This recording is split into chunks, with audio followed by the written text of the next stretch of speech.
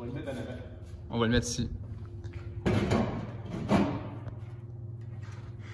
Un deuxième mur que tu as fait?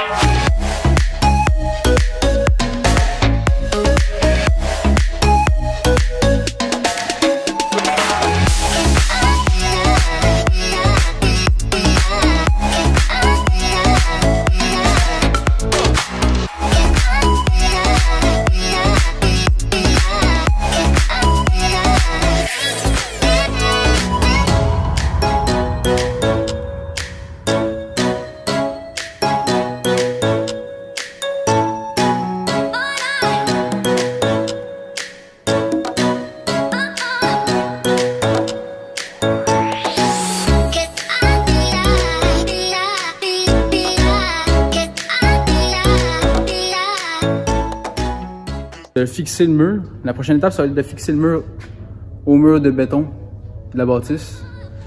De le solidifier pour qu'il arrête de bouger. Puis ensuite de ça, on va faire euh, des, trous dans les murs pour être capable de voir ceux qui travaillent quand on est au euh, comptoir. C'est ça. C'est ça.